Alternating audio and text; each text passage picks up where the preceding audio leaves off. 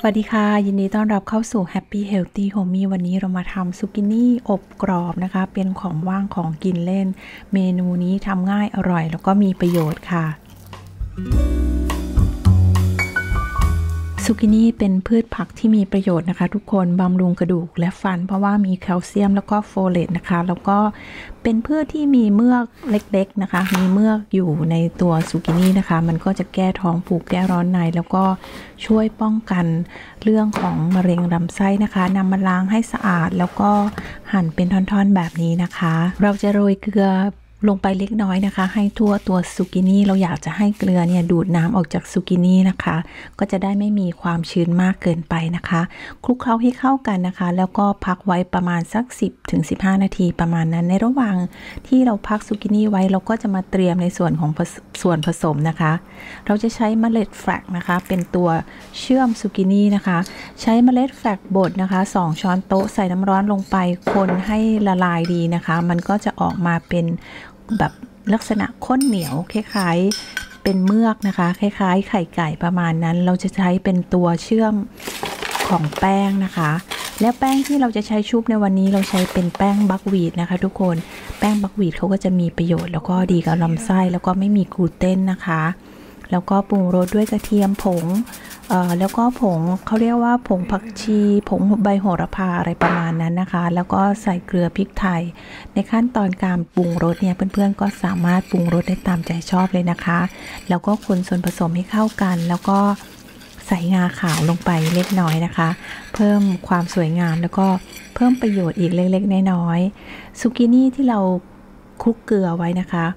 มันก็จะมีน้ำออกมา ก็นำไปล้างให้สะอาดอีกรอบหนึ่งนะคะ แล้วก็ซับน้ำให้แห้งให้บัดหมาดนะคะ ไม่ต้องแห้งจนเกินไป แล้วเราก็นำมาชุบเมล็ดแฟกนี่นะคะ ที่เราชงน้ำร้อนไว้เนาะมันก็จะมีลักษณะคล้ายๆกาวประมาณนั้นนะคะ และเราก็จะได้ประโยชน์จากเมล็ดแฟกด้วยเนาะแล้วเราก็จะเอามาจุ่มลงในส่วนผสมของแป้งแบบนี้นะคะ คลุกเคล้าคลุกเคล้าไปมาให้ทั่วดีเลยนะคะ และเดี๋ยววันนี้เราจะนำเข้าหม้ออบรมร้อนนะคะ เราจะอบ 350 องศาเป็นเวลาประมาณสัก 20-30 นาที เพื่อนๆก็ต้องเช็คดูอีกรอบนึงนะคะ ก่อนที่จะนำไปอบนะคะ เราก็ฉีดสเปรย์น้ำมันให้ทั่วดีเลยนะคะ เพราะว่าเขาจะได้มีความกรอบเนาะเอาเข้าหม้ออบรมร้อนค่ะ ประมาณนั่นแหละนะที่เราบอก 20-30 นาทีเช็คดูนะคะ เพราะว่าเตาแต่ละบ้านไม่เหมือนกัน หลังจากนั้นก็เสร็จเรียบร้อยค่ะ ก็จะมีความกรอบ เนี่ยนะคะ ความกรอบก็จะประมาณนี้กรอบกริบอร่อยมากเลยค่ะทุกคน แล้วก็ตัวบวบซูกินี่นี่ก็คือ มันจะมีความหวานในตัวของเขาอยู่แล้วเนาะในส่วนของน้ำจิ้มนะคะ เราจะใช้มายองเนส 1 ช้อน แล้วก็มีซอสมะเขือเทศซอสพริกนะคะ ในส่วนของมายองเนสเพื่อนๆจะใช้เป็นกรีกโยเกิร์ตก็ได้เช่นเดียวกันนะคะ ก็จะได้มีความคลีนมากขึ้นเนาะเราใส่พริกป่นลงไปแล้วก็ใบโหระพาแห้งลงไปด้วย ก็คือปรุงรสได้ตาม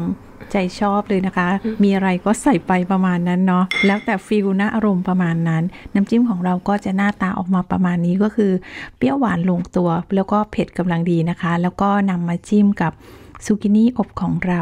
ก็จะได้อาหารว่างของกินเล่นที่อิ่มจริง แล้วก็มีประโยชน์ เดี๋ยวเราไปชิมด้วยกันนะคะ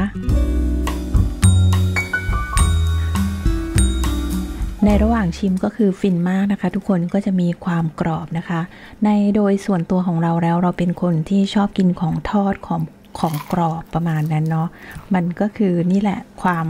อร่อยของอาหารก็จะทำให้เราอ้วนนะคะ ก็พยายามลดละเลิกอยู่นะคะ ก็ดีที่มีเตาอบเนาะมันก็จะได้ลดปริมาณน้ำมันลง หวังว่าจะเป็นประโยชน์แล้วก็เป็นไอเดียให้เพื่อนๆได้ในการทำเมนูซูกินี่ในวันนี้นะคะ เพื่อนๆลองไปทำดูนะคะ ถ้าใครได้ลองทำแล้วก็อย่าลืมมาคอมเมนต์บอกกันที่ช่องคอมเมนต์ด้านล่างด้วยนะคะ ว่าออกมาเป็นยังไงบ้างสำหรับวันนี้ก็ขอขอบคุณที่ติดตามรับชมนะคะ เจอกันใหม่คลิปหน้าค่ะ สวัสดีค่ะ